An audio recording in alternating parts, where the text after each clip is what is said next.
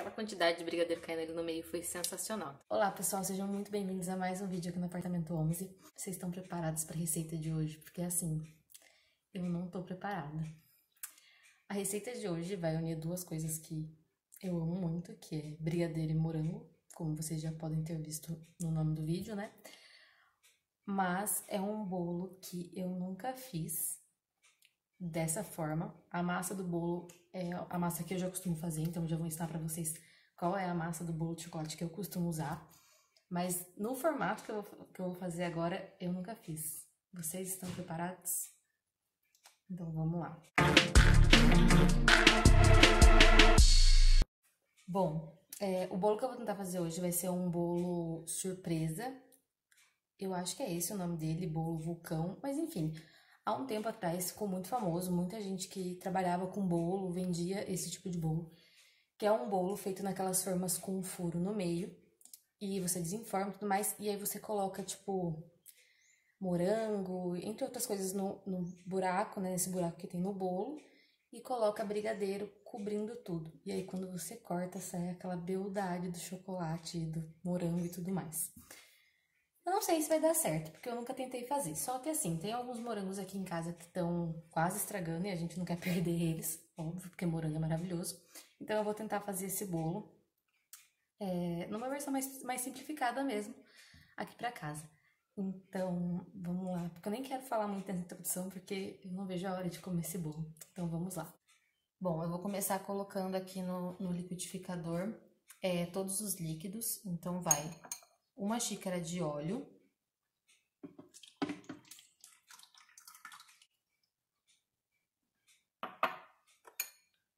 uma xícara de leite e duas unidades de ovos. Aí você bate até esses ingredientes misturar. Agora você acrescenta é, o açúcar, uma xícara de açúcar,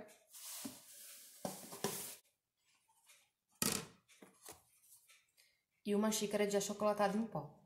Agora também bate até misturar bem. Ela é muito simples porque você coloca tudo no liquidificador e mistura e é muito mais rápido. É, depois que você misturou essa parte, ficou bem homogênea a massa, você acrescenta duas xícaras de farinha de trigo, sem fermento, tá? E de preferência peneirada. Agora eu vou colocar o último ingrediente, que é o fermento. E o fermento, é, não pode bater, né? Porque senão desanda tudo bolo.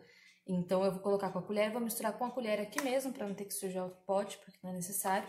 Vou mexer bem devagar com a colher só para o fermento incorporar na massa. E aí, vou passar isso aqui para a forma. De fermento vai uma colher cheia de fermento em pó, né? Vou pôr aqui. E aí, eu vou mexer com a colher mesmo aqui dentro, bem devagar, só para deixar o fermento incorporar na massa. Eu já deixei o meu forno pré-aquecendo em 180 graus, tá? É, né, pra, pra gente já levar o bolo, já, já está meio pré-aquecido o forno. Já bati aqui a massa, agora eu vou passar tudo para a forma para levar para o forno. Eu untei a forma com é, margarina e chocolate em pó, né? Pra, pra não ficar branco o bolo. Vou passar a massa para cá e levar para o forno. Já passei aqui a massa para assadeira.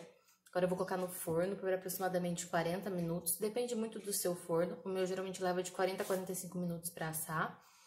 E quando terminar de assar, eu volto aqui pra gente fazer o brigadeiro que vai em cima desse bolo juntos e eu mostrar a montagem do bolo para vocês. Então, até já!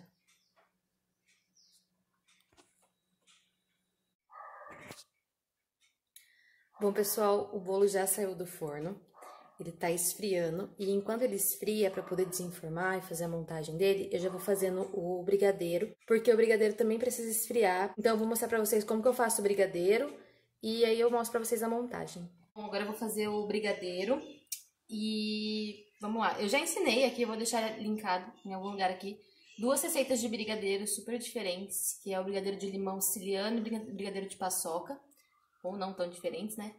É, e a base desse brigadeiro é basicamente a mesma. Eu acho que quase todo mundo já deve saber fazer brigadeiro, né? Bom, então vai uma caixinha de leite condensado, uma colher bem cheia de margarina e duas colheres também bem cheias de achocolatado. Agora é só misturar tudo em fogo médio até dar o ponto de brigadeiro.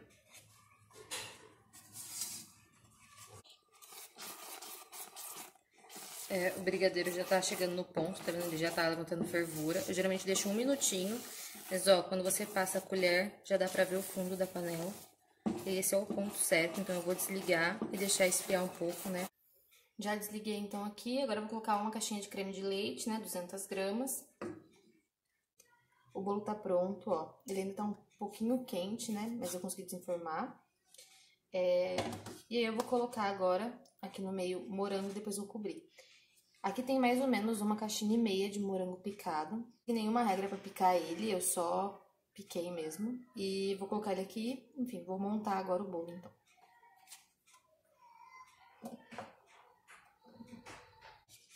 Bom, coloquei aqui tudo no meio até chegar aqui em cima. Não deixei passar muito para o brigadeiro vai ficar certinho aqui. E aí o que sobrou de morango, né, para não desperdiçar, eu coloquei em volta de toda a forma.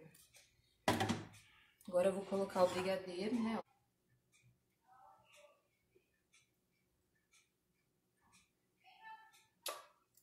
Bom, esse é o resultado. É... Eu cobri tudo, né? Enfim, aqui tem um monte de morango embaixo aqui. E eu coloquei morango em toda a volta. Que foi o morango que sobrou, só pra não, não desperdiçar. E, enfim, tá com bastante morango, com bastante brigadeiro.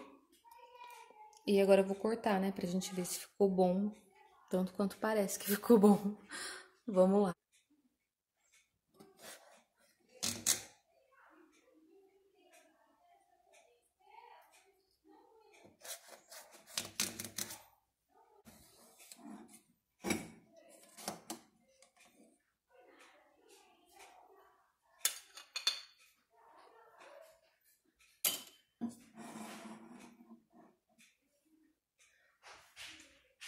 Bom, ele tá escorrendo aqui. Vou cortar um pedaço maior, né, pra, pra mostrar mais o pedaço que tá escorrendo, ó.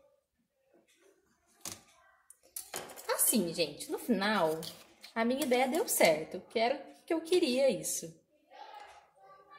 Ó. Bom, gente, aqui tá o bolo.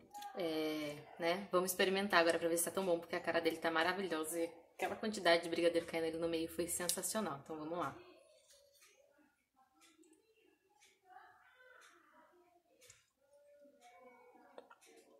Hum, ficou muito gostoso. Não ficou muito doce. O brigadeiro tá bem suave, ele ficou com, com gosto bem, bem suave por causa do creme de leite. E tá cheio de morango, então então eu vou continuar comendo meu bolo. E é isso, gente. Espero que vocês tenham gostado do vídeo de hoje. Muito obrigada por assistir até aqui. Espero que vocês tenham gostado da receita e que vocês tentem fazer aí na casa de vocês. E se vocês fizerem, não esqueçam de me marcar no Instagram. Postem lá nos stories, postem no feed, me marquem lá. É... Me, segue, me segue também no Twitter, eu sempre falo de várias receitinhas que eu fico fazendo por lá. Não esquece de se inscrever no canal de ativar o sininho para toda vez que eu postar uma receita nova que eu posto direto, várias receitas aqui, você já fica sabendo, além dos outros vídeos que eu posto aqui no canal. E já deixa o like aqui nesse vídeo se você gostou desse bolo, se você gostou dessa receita, se você também ficou com água na boca só de ver eu fazendo essa receita. Então, é isso, gente. Espero que vocês tenham gostado. E até o próximo vídeo aqui no Apartamento 11. Beijos!